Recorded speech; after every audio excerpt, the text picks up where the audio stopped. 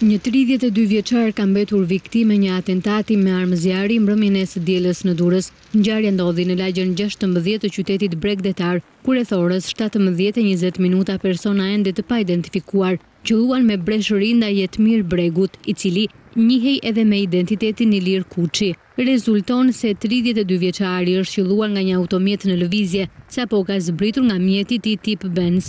Plumbat që ka marrë në kokë dhe kraharorë, kanë rezultuar fatal për të rjun, i cili unë bjetën në urgjensën e spitalit rejonal të dursit. 32 vjeqari me 2 identitete rezulton me precedens penale, ndërsa policia ka shoqëruar disa persona të cilët mund të kendje një minjarjen. Grupi i hetimor ka njësur punën për mbledhin e provave dhe zbardhin e rethanave të atentatit që të rondit i dursin në mbrëmjën e së djeles.